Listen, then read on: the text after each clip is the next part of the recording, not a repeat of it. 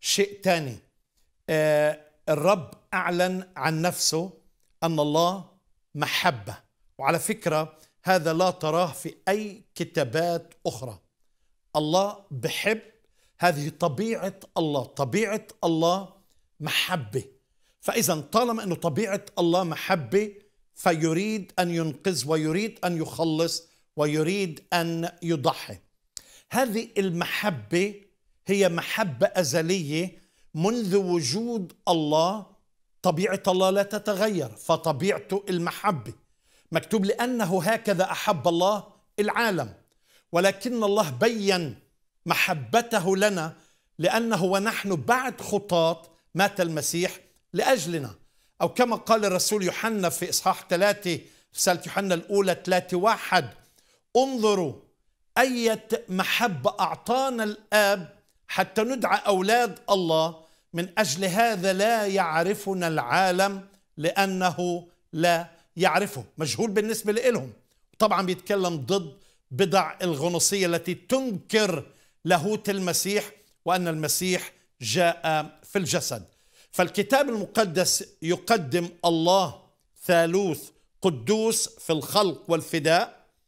الله محبة وهذه المحبة غير محدودة محبة غير مشروطة محبة أزلية محبة أبدية. وتراءى لي الرب من بعيد ومحبة أبدية أحببتك من أجل ذلك. أدمت لك الرحمة. أحبنا أولا أحبنا فضلا أحبنا حتى المنتهى. يعني الرب يسوع تكلم عن هذه المحبة. ليس لأحد حب أعظم من هذا أن يضع أحد نفسه لأجل أحبائه.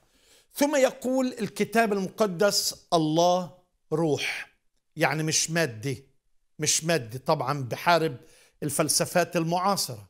الله روح وكما قال للمرأة السامرية الله روح والذين يسجدون له ينبغي أن يسجدوا له بالروح أي بالروح القدس مش بالحرف والحق الحق هو ضد كل ما هو باطل.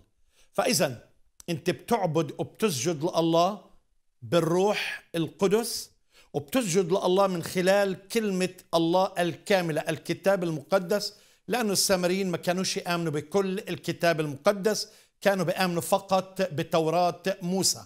فما في عبادة بدون كلمة الله وما في عبادة بدون الروح القدس. فالله روح.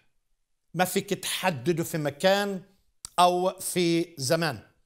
على طول أنا عارف شو اللي بدور في ذهنك. طب كيف بتقولوا إنه الله بيتجسد؟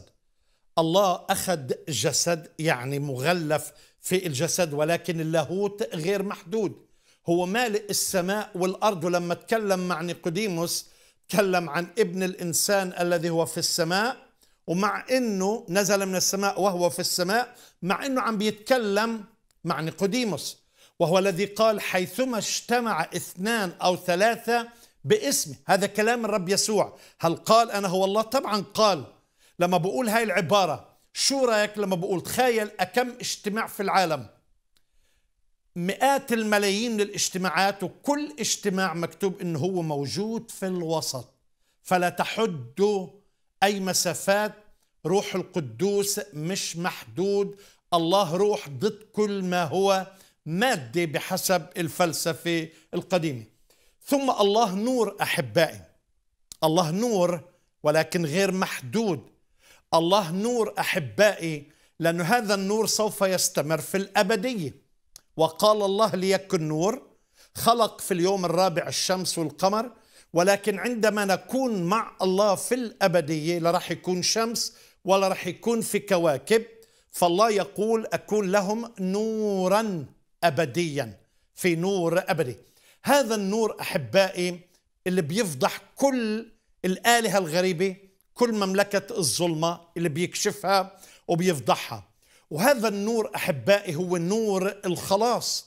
أرسلك إليهم لتفتح عيونهم كي يرجعوا من ظلمات إلى نور ومن سلطان الشيطان إلى الله كي ينالوا بالإيمان بغفران الخطايا ونصيبا مع المقدسين.